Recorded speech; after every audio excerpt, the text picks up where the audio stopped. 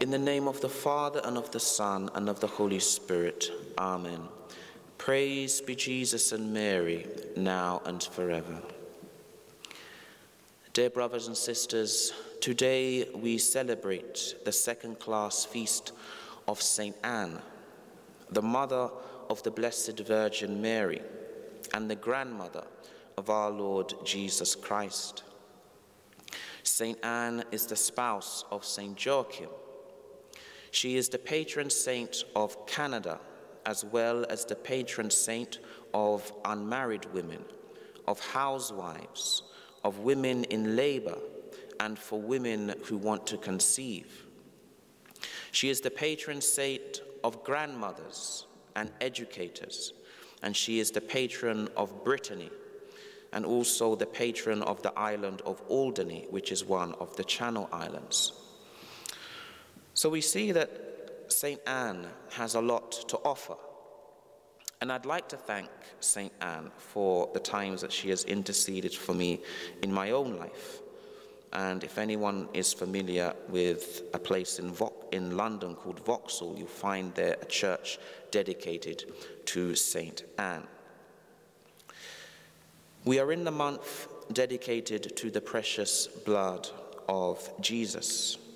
And here in Portsmouth, in this church dedicated to St. Joseph, who is the patron of the universal church. I'd like to explain a bit the need to fight for the restoration of all that was lost in the church and in society. And I'd like to continue my thanksgiving in this month of July. Um, we once spoke about Thanksgiving on the 5th. The 5th, not only because of the 5th of July, the priestly ordination, but the 5th meaning Camberwell Green. That's where I'm from. Um, I'd like to introduce myself here in St. Joseph's. And the 5th because Radio Immaculata and uh, a particular show called Building a Marian Culture has dedicated what it does to the five wounds of Jesus. And um, I went from a rough council estate in South London to the traditional Latin Mass. In many ways, it was the Latin Mass that saved me, and I am grateful to God for bringing me to the Latin Mass. And I'm thankful for hearing many preachers in the Latin Mass preach very strongly and um, preachers like Father George Dangerfield, who would preach at Spanish Place in London. And I'm grateful for having met priests like Father Peter Lessiter, who was like a martyr for the traditional Latin Mass. And I'd like to continue my thanksgiving and extend it to St. Anne. I mention all of this because we have to be like martyrs in these times. And we pray to St. Anne to intercede for us and protect us. There is a devotion to St. Anne on Tuesdays, and many people find that devotion and prayer to St. Anne is very powerful. And the fruit of her womb is she who crushes the head of the serpent, Mary, the Immaculate Conception, born of St. Anne. In England, you had a feast called the Conception of St. Anne, which was basically the feast of the Immaculate Conception. So in England, there was this devotion to St. Anne. And as I mentioned, St. James's Spanish place in London. Once we spoke about five things that we were aiming to go after, to go on the attack. One, modernism. Two, Freemasonry. Three, the rainbow flag revolution. Four, the decline in Marian devotion. And five, immodesty and the need to restore the dignity of the woman. I mention all of this because we hope to bring all of these discourses to a conclusion and to have something practical to offer, to say, we've done our talking, now we have to do action. And as St. Anne is the patron saint of educators, and in the past we've spoke about the dignity of the woman and her important role in society. We turn to St. Anne and we place into the hands of St. Anne this intention of restoring the dignity of the woman and helping women and girls to realize the important role they have. And this is why we have spoken against immodesty. This is one of the reasons why we've spoken about immodesty, because that important role will be forfeited if the woman loses their dignity through immodesty. Blessed are those who hunger and thirst for justice, for they shall have their fill, Jesus told us. And this also means blessed are those who hunger and thirst for holiness. For in sacred scripture, justice is often synonymous with holiness. And the virtue of justice is the habit, that disposition of constantly, continuously giving to others what's due to them. And it's right to say that in many ways, women have not been given what's due to them. This does not mean the diabolical emancipation that the world is trying to give them. That is not what we're talking about. What it simply means is to acknowledge the woman's strength and her qualities. And in this world, there are many strong women. In today's epistle, you heard about the valiant woman. There are many women of virtue, endowed with a soul that is noble, enriched with many spiritual gifts, admirable women, pious women, strong women, virtuous women, inspirational women with interior fortitude. This could be someone's mother. Your mother could be a strong woman. Your grandmother might be a strong woman. Your auntie might be a strong woman. Your wife might be a strong woman. Your sister might be a strong woman. Your cousin, your niece, your daughter, your neighbor, and so on.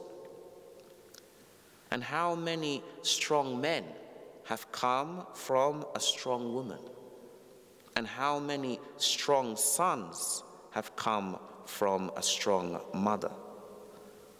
So we've spoken about modesty because one of the things that weakens this role that the woman has in potentially restoring the society is this vanity, which many times is manifested in immodest dress. And immodesty jeopardizes and forfeits this potential role that the woman has in contributing towards a certain restoration, which we are all hoping for, this restoration. And through being dignified and virtuous, that's all it takes to begin this restoration. But if she abdicates from her role and loses some of the spiritual gifts that has been given to her through immodesty, we feel it important and a need to speak, to defend the woman. The saints spoke out against immodest dress and indecent fashions, for they knew how greatly it offended God and was harmful to one's neighbor. And if you are aware of what the Blessed Virgin Mary said to little Saint Jacinta about immodesty. How certain fashions will be introduced which will greatly offend God.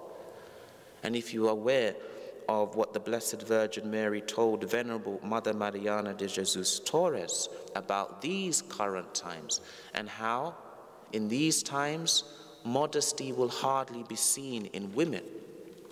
You have to understand why now there is an urgent need to speak out against immodesty, but many are silent. And if you are aware of how the church used to speak and how the church, what lengths the church would go to to defend modesty, you'd be surprised. And I'd like to read um, part of a letter published in 1930 from what is now called the Congregation of the Clergy this was during the time of Pius IX. I quote, in order to facilitate the, the, desired effect, this sacred congregation, by the mandate of the Most Holy Father, Pius XI, has decreed as followed. There are certain numbers, um, and I'm not going to read all of them. One, the parish priest, and especially the preacher, when occasion arises, should, according to the words of the Apostle Paul, insist, argue, exhort, and command that feminine garb be based on modesty and womanly ornament be a defense of virtue. Let them likewise admonish parents to cause their daughters to cease wearing indecorous dress. Number seven. No, number two, parents conscious of their grave obligations towards the education, especially religious and moral, of their offspring, should see to it that their daughters are solidly instructed from earliest childhood in Christian doctrine, and they themselves should assiduously inculcate in their souls by word and example love for the virtues of modesty and chastity. Number seven, it is desirable that pious organization of women be founded, which by their counsel, example, and propaganda should combat the wearing of apparel unsuited to Christian modesty and should promote purity of customs and modesty of dress. And I'll read one more, number nine. Maidens and women dressed immodestly are to be debarred from Holy Communion and from acting as sponsors at the sacraments of baptism and confirmation. Further, if the offense be extreme, they may even be forbidden to enter the church. This is 1930. And what, is, what are the fashions like now? So you see the mind of the church and what was at the heart of the church in those times and this is why we speak. But, dear brothers and sisters, as I mentioned, we hope to bring to a conclusion um, talking about things and putting things into practice.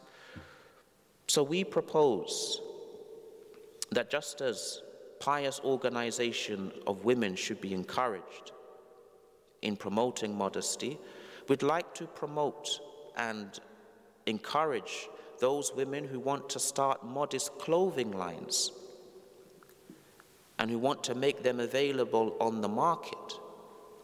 We want to encourage and promote this. Now is your time, those who have these initiatives, to come forward, and your undertakings will be blessed by God. And this is how we hope to bring to a conclusion um, our talking on this matter and put into practice by hopefully, through the grace of God, um, helping others to put modest clothing on the market. Finally, let us contemplate the statues and images of St. Anne, which has an image of little Mary. And let us imitate little Mary, all of us, little Mary or infant Mary or the child Mary. St. Anne will give to us this grace to be like little Mary, taking instruction from her mother.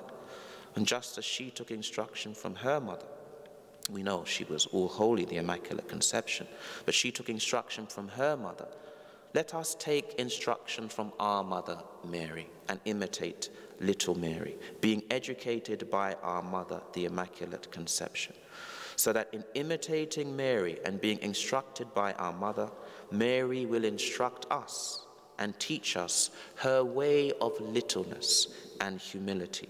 For the restoration will come about in our times through this humility. To you, Saint Anne, we entrust all of our endeavors, and we humbly ask you to pray for us.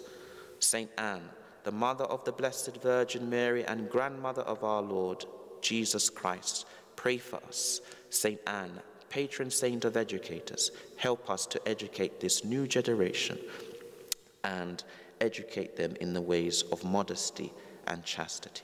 Amen. In the name of the Father, and of the Son, and of the Holy Spirit.